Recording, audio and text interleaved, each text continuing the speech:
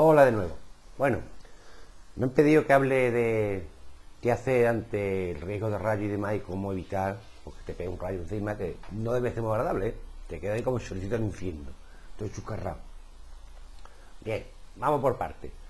Los rayos los produce evidentemente las tormentas. Y las tormentas, eh, pues tenemos dos tipos básicos. La frontal y la de calor. La frontal es la que viene con un frente frío, se dan en invierno normalmente, y las de calor, pues son esas que se dan en verano, cuando hay una época donde unos días donde sube mucho el calor, crea diferencia de carga eléctrica y se lía, ¿no? Eh, la típica tormenta de verano. Bueno, pues curiosamente son más peligrosas las tormentas de verano. Es decir, cuanto más gente muere por rayo es más o menos entre mayo, junio y julio, ¿no? Y coño, qué cosa más rara, ¿no? Bueno, no es raro. Es decir, normalmente en invierno la gente cuando está lloviendo a mares y tormenta no sale al campo. Ahora, un día normal, que está de puta madre, calentito, para acá, para venga al campo, ¡toma! Un rayo de carajo. Así que cuidado. Siempre viene bien mirar las previsiones meteorológicas, ¿no? De luego lo más sensato es si es riesgo tormenta no vaya al campo, cojones, Dios, que te va a chicharra ahí, rayo, toma la mierda rayo. Pero como hay aquí más que el negrito de pañales, pues yo, lloviendo a con tormenta y demás, bueno, vale.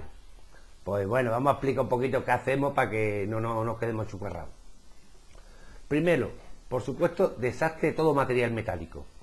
Hebillas, anillos, piercing, es decir, bastones, todo lo que lleve encima. ¿eh? Eh, ¿Por qué? Porque el metal atrae eh, el rayo, es decir, el, rayo siempre va a tirar para la zona de mayor conductividad. Entonces, todos estos cacharritos te los quitas.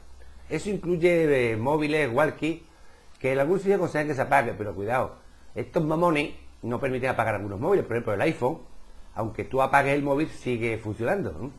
Se puede quitar la batería como a otro.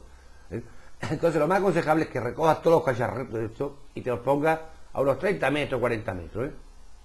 Además esto va a hacer para rayos. Como ahí estaba todo, todo, todo, acumulado ahí, ya te digo, los, los, rajos, la navaja, el pedazo Kudeman de dos metros y medio, la churra ortopédica, pues si hay un rayo, ¡buah! el leñazo lo va a meter donde eh, haya más conductividad. Entonces 30 50 metros es suficiente. ¿eh? Va a dejar los oídos a cargo, pero bueno, por lo demás no te muere, no te muere. Entonces, importante todo. Revisar bien todo, es incluso gafas de estas si es montura metálica, es decir, anillos, todo lo que lleve. Porque eso, o sea, llevar metal es hacer de rayo, ¿no? Eh, por supuesto, cinturón, en fin. Un buen repaso, ¿no?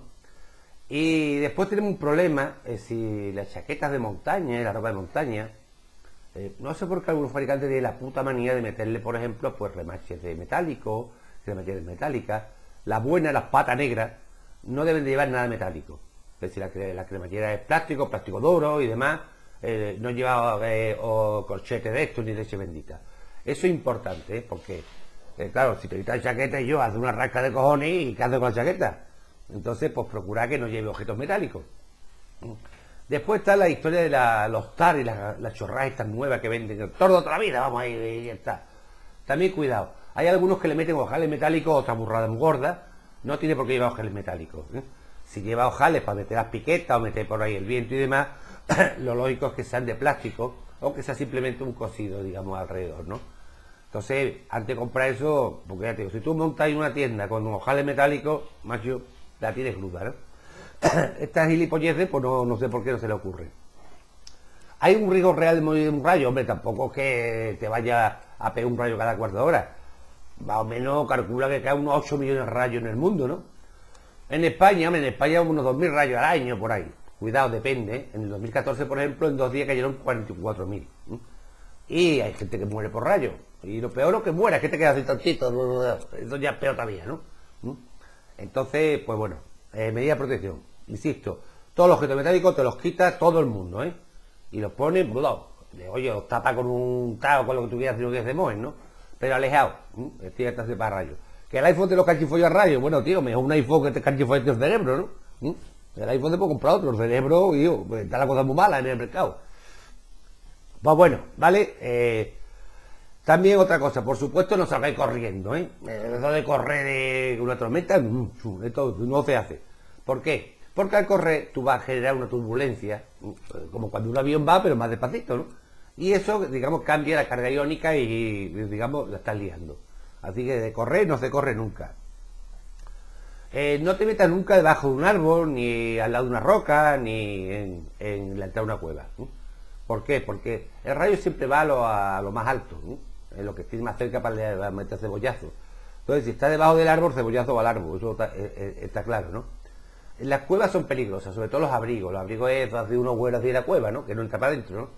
¿Eh? Si es una cueva más profunda y te mete para adentro unos pocos de metros, no va a tener problema. Ahora, justo en la boca, el rayo es así, guapa, y pégale, pega cebollazo. Entonces, que es muy normal, digo, oh, una cuevecita, que nos metemos todos, que es calentito. No, si la cueva, échale por lo menos que te puede meter 5 o 10 metros para adentro, que si no la cosa está chunga, ¿eh? Entonces, mm, fuera. si está, por supuesto, en espacio abierto, es peligrosísimo. ¿Por qué? Porque si hay espacio abierto, donde no hay árbol y demás, el pararrayo eres tú. De ahí hay que quitarse lo antes posible, ¿eh? Con tranquilidad, sin prisa, pero quitarse de en medio, porque es un problema. También hay que alejarse de objetos metálicos, digamos, gordos, es decir, tendidos eléctricos, vías de tren, eso puede pegar un rayo y transmitir, digamos, el, rayo a kilómetros, ¿eh? Por tanto, lejos de, esto, de, estos inventos, ¿no? Hombre, si está a 100 metros de puta madre, ya te hace para rayos, ¿no? Pero al principio no te, no te pegues a, a, estos inventos que es chungo, ¿no?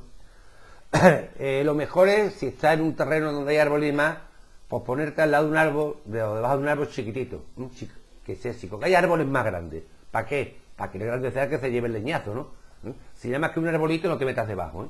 Ahora, si estás en una zona que hay mucha vegetación, pues intenta ponerte en la zona con menos árboles altos. ¿eh? Ahí es más seguro. Oye, no es 100%, pero yo, eso es lo que hay, ¿no? por supuesto hay que intentar evitar el contacto con el suelo mojado. El, agua, lógicamente, un conductor y eso es peligroso. Y tú mojado también es, peligroso, ¿no? ¿Qué es lo que hace? Pues mira, oye, la típica bolsa basura esa que recomienda todo el mundo, gigante para llevarla en el kit de supervivencia, pues te la pones en el suelo y te pones tú encima, ¿no? ¿Mm? Decir, para que no haya contacto, que no hay hoja ahí, pues te busco unas maderas y te ahí una plataforma, de forma que no esté ahí en un charco de agua, porque ahí lo llevas muy jodido, ¿no? Entonces siempre hay que intentar aislarse. ¿eh? También puede hacerlo con, con el tal, con un toldo, es decir, lo doblas así, vuelve a popo, y de la parte de abajo ahí te pones tú, ¿no? ¿Mm? Las tiendas de campaña peligrosas, todas. Si es terreno despejado porque resaltan sobre el terreno. Y si no es terreno despejado, o, cuidado, que hay pocas tiendas eh, de montaña, bueno, pocas, de montaña sí hay, las que lleva la gente no, ¿eh? que no lleven objetos metálicos. Por supuesto, los mástiles no vean. El mástil monta un pararrayo encima, encima de los cuernos. Así que estos inventos no, no son recomendables. Es decir, las tiendas mejor no montarlas. Si no tienes más remedio que dormir y demás, pues mira, pues eh, hay dos opciones. Montar lo que diga una mortaja. La mortaja es el típico refugio en A, es decir, con la tienda.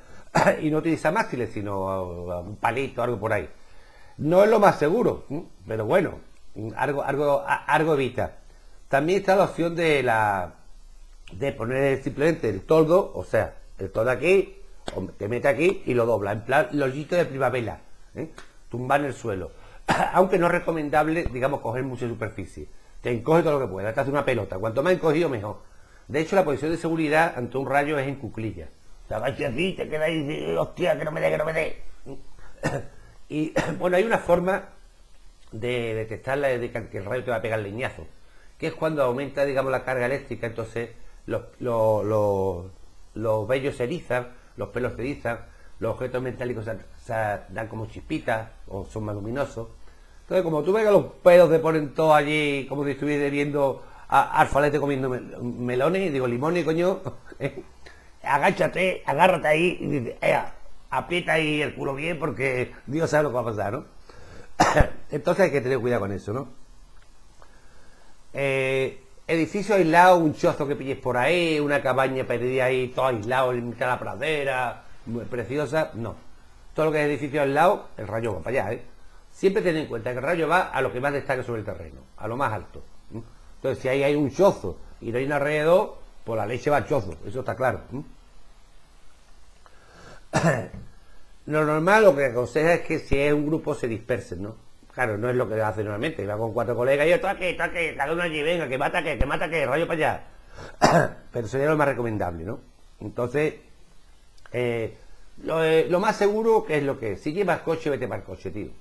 Por supuesto, cierra ventanilla y entrada de aire, el coche, pero que hay un rayo no pasa nada, es una jaula de Faraday, es decir, el rayo va por fuera, no te va a tocar. Entonces, si lleva el coche, te mete dentro, ¿eh? Ya te digo, cierras todo, ventana y demás, y sin problema. en el campo, en el campo es muy peligroso una tormenta. Es decir, por supuesto, si está en la montaña, intenta mm, perder altura. Cuanto más alto, peor, ¿no? Y un rayo mete una bestialidad, ¿eh? ¿Eh? Te mete. Mm, voltios para reventar, ¿no? No me acuerdo cuánto era lo que metía, creo que era unos 100.000 voltios más o menos. Creo que es lo que metía un rayo, ¿no? Entonces, bueno, estas son las medidas básicas. O sea, fundamentalmente, sí, intentar que no destaque sobre el terreno, ¿eh? no ponerte al lado de, algo que lo pueda traer y, por supuesto, bueno, pues, encogerte ahí como una pelota ahí, cuanto menos ocupe mejor, ¿no? Con eso normalmente, sobre todo si hay árboles cerca y demás, por lo normal que va el rayo. si tiene la precaución de quitar todos los objetos metálicos, ¿eh? Eh, pues es mucho menos. Yo he, pateado muchísimo el campo, he dormido mucho en el campo, y bueno, a mí una vez me cayó un rayo, ¿no? A mí no porque sigo vivo, ¿no? ¿eh? fue en el Pedroso una tormenta eléctrica de cojones, y esa que tuve, y eso, tío, tío, tío, la que se valía. Entonces, pues lo que hicimos eso, ollas, cacerolas, todos los cacharros metálicos, los pusimos a, una cierta distancia, 40, 50 metros, y aquello pega un cebollazo allí el rayo de cojones. Los oídos pi dos horas quitando los oídos, ¿no? Un olor de azufre, o sea, y los huevos aquí, los huevos aquí, yo, yo tío Pedrín. Entonces, coño, ¿qué me hago? Bueno, con esto yo creo que más o menos escapáis, básicamente, ¿no? No creo que se me olvide nada importante, es decir, sobre todo hacer tonto, le metieron cuevas, esa historia en las tiendas.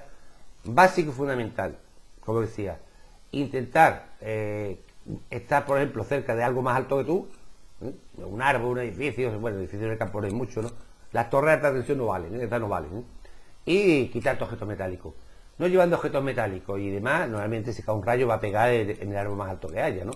Si está totalmente, digamos, en la pradera allí, pues mejor te, quitas del medio como puedes. Si no te hace una pelota allí y aguanta el chaparrón, macho, y que sea con lo Dios quiera.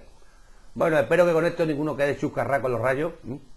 No es muy probable, tampoco acojonaros ahí que no va a pasar nada. Esperad, no suele pasar. Es verdad que casi todos los años paramos alguno con lo de, un rayo, se queda tonto, ¿no? Bueno, otra cosa, si hay a un tío con un rayo, bueno, eh, el 30% la palma de tirón, ¿eh? El otro se cae medio gilipollas. ¿Y qué es lo que tiene que hacer? Bueno, una RCP, maniobra de reanimación pulmonar. El rayo básicamente lo que va a provocar es una parada cardiorrespiratoria, ¿no? Con eso el chaval igual lo puede mantener hasta que venga alguien y después, pues, yo, se te queda tarado perdido, ¿eh? Hay gente que le pega un rayo y escapa bien, ¿eh? Todo depende por donde te pegue el leñazo, ¿no? El problema es que si tú llevas objeto metálico te va, te va a entrar por ahí, te hace un agujero, literalmente, ¿no? Entonces estas cosas y demás no se llevan al campo, ¿vale?